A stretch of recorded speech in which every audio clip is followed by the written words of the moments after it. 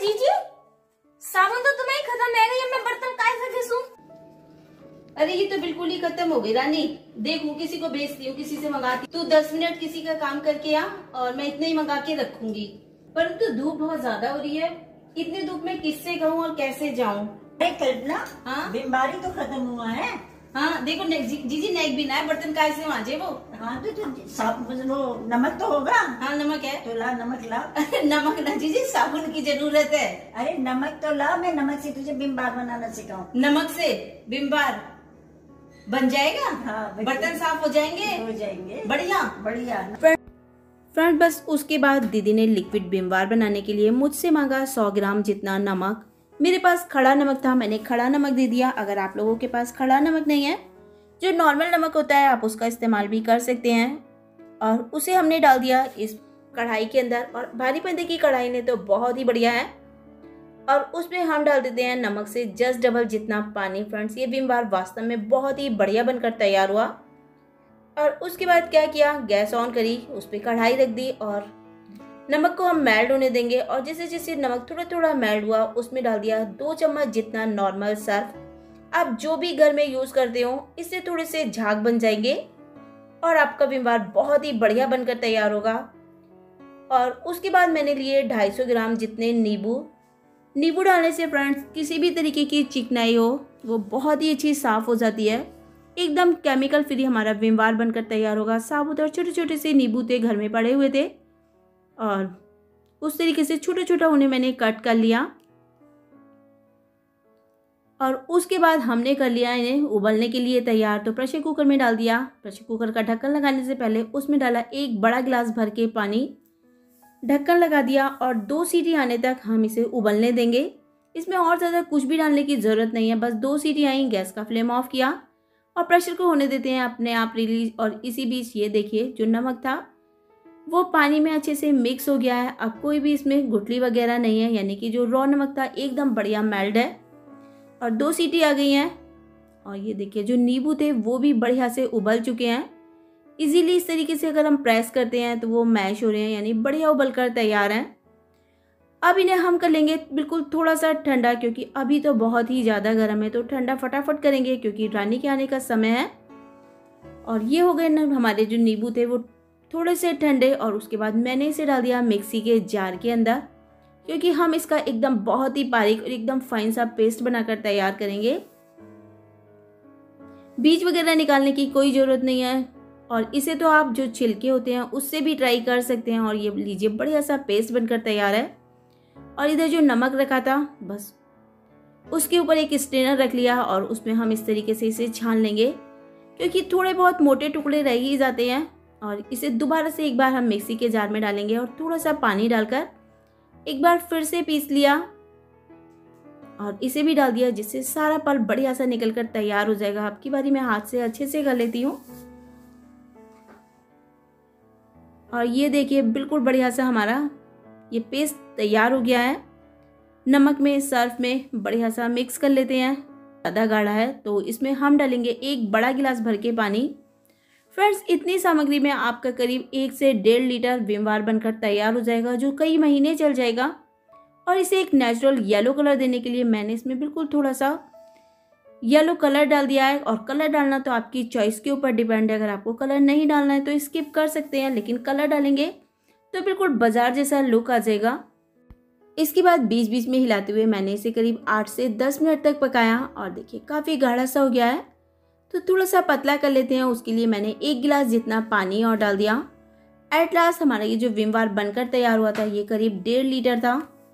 और उसके बाद और दो मिनट उबाला और देखिए, बढ़िया सा उबल कर तैयार है। इसमें एक और स्पेशल चीज़ डालेंगे। और वो है सफ़ेद सिरका या विनेगर नॉर्मली सभी घरों में होता है और ये हम डालेंगे 100 ग्राम जितना। और 100 ग्राम नमक और 100 ग्राम सफ़ेद सिरके के साथ बना हुआ ये लिक्विड विम बहुत ही बढ़िया बनकर तैयार होगा।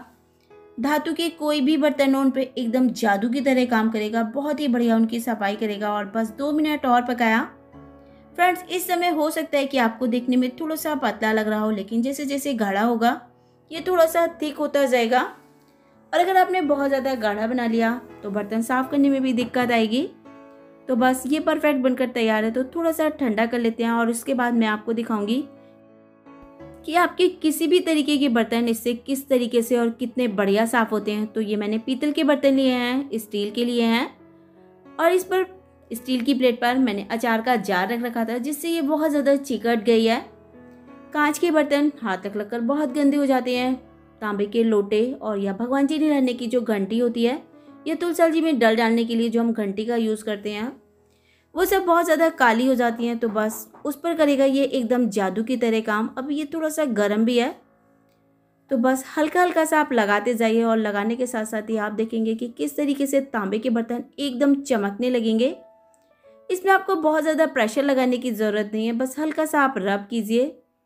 या अगर आप लगाकर 10 मिनट के लिए छोड़ देते हैं, तब भी आपके बर्तन बहुत ही बढ़िया से नीट एंड क्लीन हो जाएँगे। तो चलिए वो घंटी तो बढ़िया साफ़ हो गई है तो अब ये लोटा साफ़ करके दिखाती हूँ। और ये देखिए, रब करने की भी कोई ज़रूरत नहीं पड़ी है, बस लगाया भर। क्योंकि फ्रेंड्स, हमने इसमें विनेगर डाला है, नींबू डाला है, नमक है। तो इसमें कोई साइंस नहीं है तो ये इन सब चीज़ों पर बहुत ही बढ़िया वर्क करता है, बस बनाकर रखने की देर है। और पीतल के बर्तन भी, नींबू वगैरह से एकदम नीट एंड क्लीन हो जाते हैं। तो अब बस हमारा ये पीतल का बर्तन भी बढ़िया साफ़ है। और जो थोड़ा सा सर्फ डाला था, उसकी वजह से इसमें हल्के से झाग भी बनते हैं।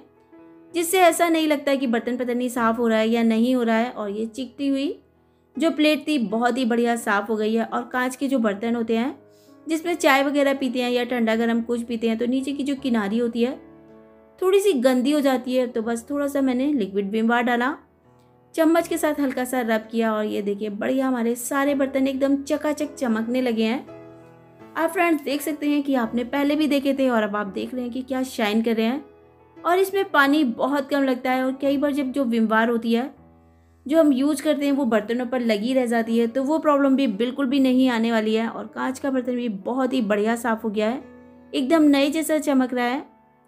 फ्रेंड्स, इससे आप सिर्फ़ बर्तन ही साफ़ नहीं कर सकते, इससे जो चांदी के भगवान जी होते हैं या आपके पास चांदी का कोई शो पीस है, कोई आपके पास जग या गिलास वगैरह है, वो सब भी बहुत ही बढ़िया साफ़ हो जाते हैं। तो बस ये मेरे चांदी के जो भगवान जी थे काफ़ी काले से हो गए थे तो दीदी ने कहा मैं तुझे इन्हें भी साफ़ करके दिखाती हूँ।